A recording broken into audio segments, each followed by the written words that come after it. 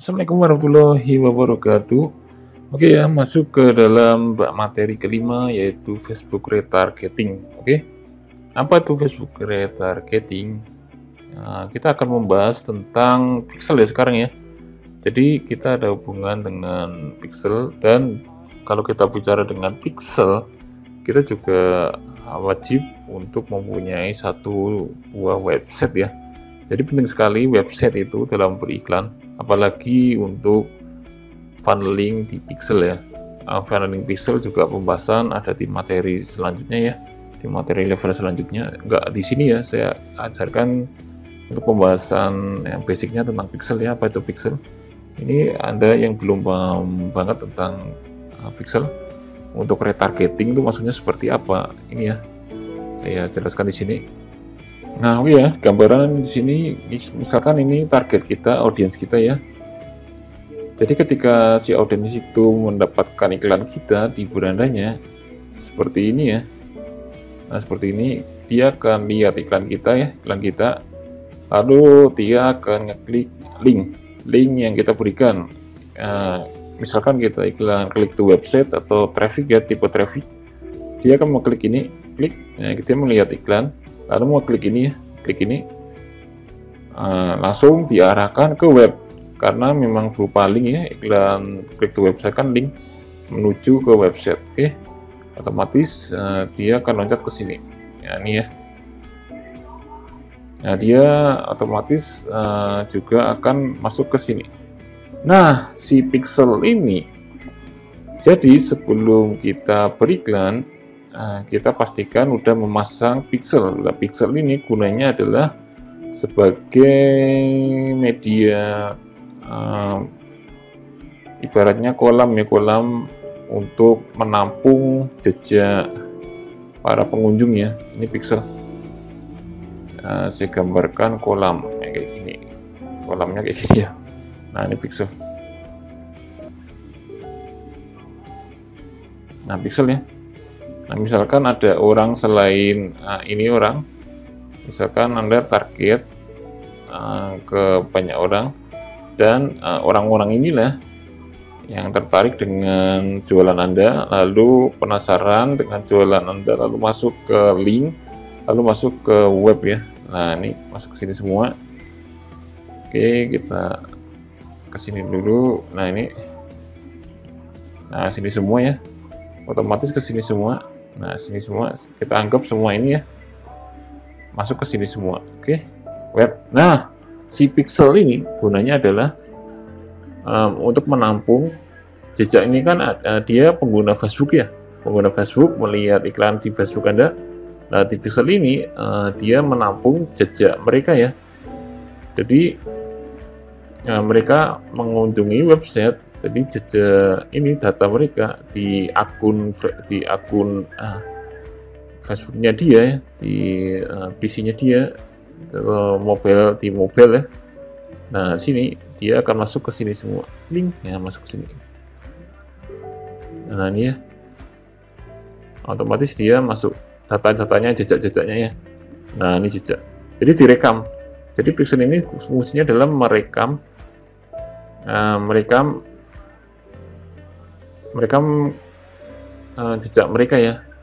Jadi men-tracking ini ibaratnya men-tracking men-tracking dari pengunjung web ya traffic web. Jadi nah ini misal si Ahmad si Ina ah, si Ani ya si Ahmad Ina Ani ini udah terekam di sini ya pixel.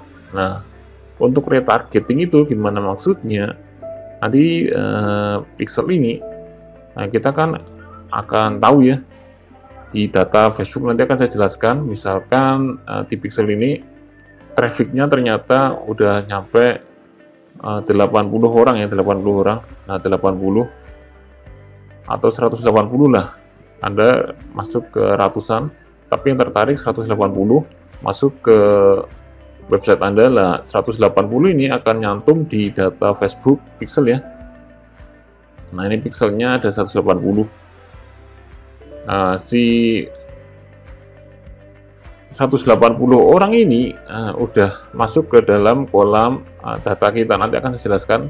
Nah, Oke, okay. setelah itu untuk retargeting kita akan menggunakan ini ya data ini ya pixel ini untuk digunakan di iklan selanjutnya misalkan ini iklan produk uh, iklan produk tentang uh, promo ya misal promo nah promo atau launching launching produk A ya.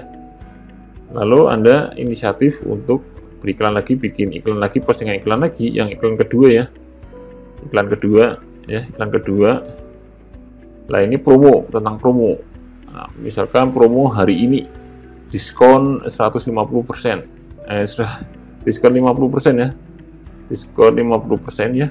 Itu iklan dua. Nah rencananya uh, yang pertama di pengunjung website Anda 180 orang ini ya uh, dia yang beli cuma uh, misalkan 30 orang. Lah 100 ada 150 ya kurangi 30 150 ini nah, kita akan kejar lagi dengan produk yang sama tapi dengan ada promo promo diskon 50% untuk hari ini nah kita kejar. Kita bikin iklan lagi nih. Kita bikin iklan lagi ya. Bikin iklan kedua. Nah ini iklan kedua dengan promo yang dahsyat. Tapi dengan targetnya adalah target ini. Nah targetnya. Nah itu retargeting ya. Jadi kita menarget mereka ini ya.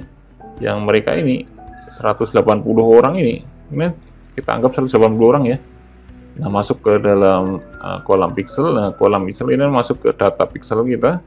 Lalu gunanya adalah kita retargeting dengan iklan yang maha dasar penawarannya promo hari ini. Jadi fungsinya adalah uh, mereka kan minimal udah tahu ya jualan kita produk A ya produk A. Lalu tiba-tiba keesokan harinya entah kenapa dia waktu di iklan pertama itu uh, dia nggak beli mungkin ada faktor uh, duitnya belum ada atau uh, duitnya kepake atau uh, dia lupa untuk membeli terus iklannya hilang ya. Dia lupa menyimpan rekening menyimpan nomor kontak. Kan iklan nggak uh, mesti ya datang ke website ke timeline Facebook lalu tiba-tiba hilang. Ada orang seperti itu ya untuk mencari-cari susah. Nah jadi padahal dia tertarik tapi uh, karena beberapa faktor seperti itu uh, dia nggak jadi beli. Nah itu faktor. Nah fungsinya retargeting adalah untuk mengingatkan ya kita ingatkan lagi eh ada produk baru ada produk lagi nih. Tapi dengan promo yang dahsyat. Nah, kita targetkan yang 180 orang ini sekaligus ya. Jadi mungkin uh, yang 30 orang yang udah beli mungkin beli lagi ya. Jadi kita ingatkan lagi. Jadi kita target orang-orang ini lagi ya. Nah, jadi muter lagi. Karena uh, pixel ini udah kita dapatkan ya jejak-jejak mereka ya. Nah jadi muncul di timeline-timeline mereka lagi dengan promo dahsyat. Jadi kita nggak perlu mencari audiens baru lagi uh, karena kita udah mempunyai uh, audiens yang udah paham dengan produk kita ya. Karena sebelumnya dia mereka ya mereka udah melihat iklan kita dan belum jadi beli. Jadi kita tawarkan promo 50% dari paham langsung beli ya. Nah oke. Okay. jadi untuk retargeting seperti itu nanti akan saya jelaskan bagaimana cara membuat pixel ini ya yang maha keren ini ya. Maha keren. Jadi memang kita itu harus bisa mengandalkan ya bisa mengatur memahami tentang pixel ya. Uh, karena memang fungsinya itu uh, bermanfaat sekali ya. Jadi seperti itu untuk penjelasan kali ini tentang retargeting pixel Facebook retargeting ya. Artinya kita butuh sebuah data pixel untuk uh, sebagai track. Sebagai record track ya merekod merekam track tracking tracking audience. Oke okay? demikian untuk video kali ini. Assalamualaikum warahmatullahi wabarakatuh